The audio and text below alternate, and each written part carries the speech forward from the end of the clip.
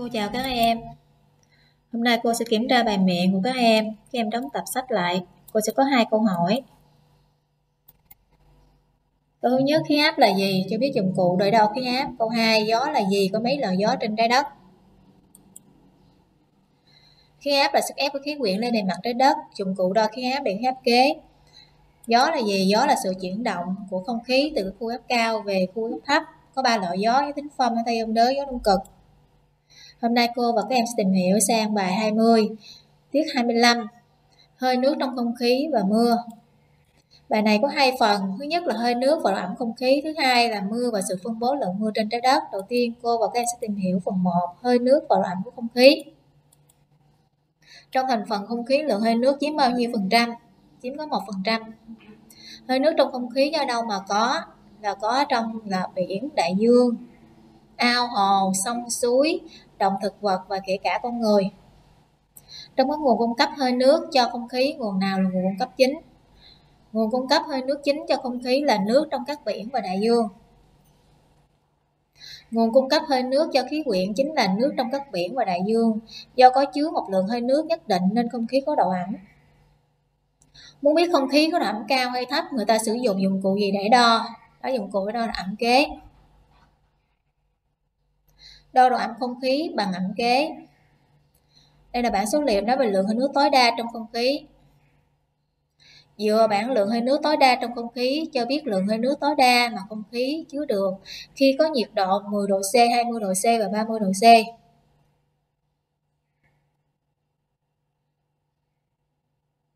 Nhiệt độ có ảnh hưởng đến khả năng chứa hơi nước của không khí hay không? Dựa vào bảng trên, nhận xét mối tương quan giữa nhiệt độ và lượng hơi nước. Nhiệt độ có ảnh hưởng đến khả năng chứa hơi nước của không khí. Nhiệt độ không khí càng cao, lượng hơi nước chứa được càng nhiều. Đây là lượng hơi nước tối đa trong khi không khí. Độ ẩm tuyệt đối, đơn vị là gam trên mét khối. Khi độ ẩm tương đối đạt 100% có nghĩa là khả năng chứa hơi nước của không khí như thế nào? Vậy khi nào không khí bảo hòa hơi nước? Cô và các em vừa tìm hiểu xong phần 1, chúng ta sẽ chuyển sang phần 2 nói về mưa và sự phân bố mưa trên trái đất.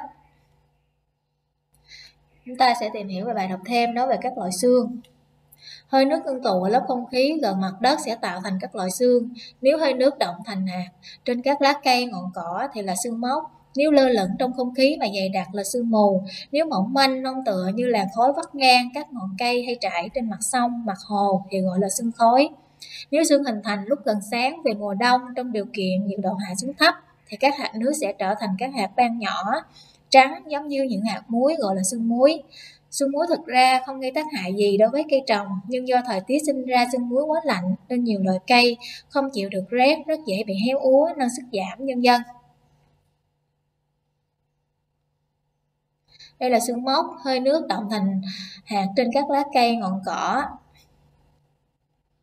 Đây là sương mù, lơ lửng trong không khí mà dày đặc. Đây là sương mù ở Sapa. Đây là sương mù ở Đà Lạt. Đây là sương khói, mỏng manh như làn khói. Đây là sương muối, các hạt nước trở thành các hạt băng nhỏ, trắng giống như những hạt muối do nhiệt độ hạ xuống rất thấp. Mây, khi nào tạo thành mây là các hạt nước tụ lại thành từng đám gọi là mây. Đây là quá trình hình thành tạo nên mưa đá. Không khí bốc lên cao. Bị lạnh dần, hơi nước sẽ ngưng tụ thành hạt nước nhỏ. Thì sau đó tạo thành mây, mây gặp điều kiện thuận lợi tiếp tục ngưng tụ. Tạo thành hạt nước to dần, hạt nước to dần, rơi xuống sẽ tạo thành mưa. Mưa, nước rơi từ khí quyển xuống mặt đất. Hơi nước bốc lên cao, ngưng tụ tạo thành mây, mây tiếp tục ngưng tụ sẽ tạo thành mưa. Kể tên các dạng mưa mà em biết. Mưa phùn, mưa rào, mưa đá, mưa tuyết. Đây là mưa rào. Đây là mưa phùn. Đây là mưa tuyết. Nước rơi nếu gặp nhiệt độ khoảng 0 độ C và trong điều kiện không khí yên tĩnh sẽ tạo thành hạt tuyết rơi xuống tạo thành mưa tuyết. Đây là mưa đá. Mưa đá xảy ra trong điều kiện thời tiết nóng, oi bức khi các luồng không khí đối lưu từ mặt đất bốc lên rất mạnh, làm cho các hạt nước bị đẩy lên xuống nhiều lần, gặp lạnh trở thành các hạt băng. Các hạt băng lớn dần qua mỗi lần bị đẩy lên xuống rồi rơi xuống đất thành mưa đá. Tác hại của mưa đá như thế nào? Để đo lượng mưa, người ta dùng dụng cụ gì để đo? Người ta sẽ dùng thùng đo mưa hay còn gọi là thủ kế. Đây là máy đo lượng mưa, đơn vị đo lượng mưa là mm. Đo lượng mưa bằng thùng đo mưa hay gọi là vũ kế, đơn vị đo lượng mưa là mm. Học sinh thảo luận cặp trong vòng 3 phút cho biết cách tính lượng mưa trong ngày, tháng, trong năm và lượng mưa trung bình năm. Tính lượng mưa trong ngày bằng tổng chiều cao là bằng tổng cộng cột nước ở đáy thùng sau các trận mưa trong ngày. Tính lượng mưa trong tháng bằng tổng lượng mưa của tất cả các ngày trong tháng. Tính lượng mưa trong năm bằng tổng lượng mưa của 12 tháng. Tính lượng mưa trung bình năm bằng tổng lượng mưa của nhiều năm rồi chia cho số năm. Các em quan sát bảng số liệu nói về lượng mưa của thành phố Hồ Chí Minh, các em hãy tính lượng mưa trung bình năm ở thành phố Hồ Chí Minh. Quan sát biểu đồ lượng mưa thành phố Hồ Chí Minh cho biết tháng nào có lượng mưa nhiều nhất khoảng bao nhiêu mm, tháng nào có lượng mưa ít nhất khoảng bao nhiêu mm. Tháng 9 cao nhất khoảng 326 mm, tháng 3 ít nhất khoảng 5 mm. Các em quan sát hình 54 bản đồ phân bố lượng mưa trên thế giới, đây là Việt Nam. Để các em nhận xét là lượng mưa trên trái đất phân bố như thế nào.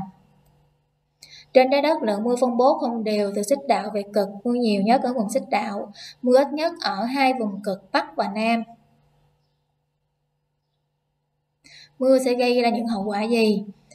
Sạt lở, đất do mưa, ngập lụt do mưa bão, mưa đá làm sập nhà, mưa axit làm chết cây,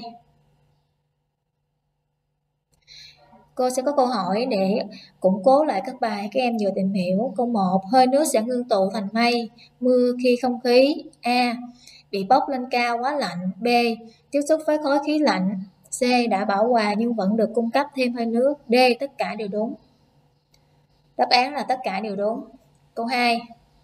Điền từ thích hợp vào chỗ chấm sao A. Chớp đông hay nháy, gà gái mà chấm chấm. B. Chuồng chuồng bay thấp thì chấm chấm, bay cao thì chấm chấm, bay vừa thì chấm chấm.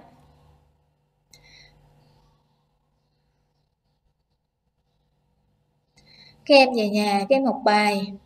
Vì sao không khí có độ ẩm hiện tượng ngưng tụ hơi nước, quá trình tạo hình mây mưa và sự phân bố lượng mưa trên thế giới? xin trước bài mới, thực hành, phân tích biểu đồ nhiệt độ lượng mưa, đọc khai thác thông tin nhận xét về nhiệt độ và lượng mưa của một địa phương thể hiện trên biểu đồ. Các em xem lại các bài đã học để chuẩn bị kiểm tra 15 phút trong bài tiếp tiếp theo.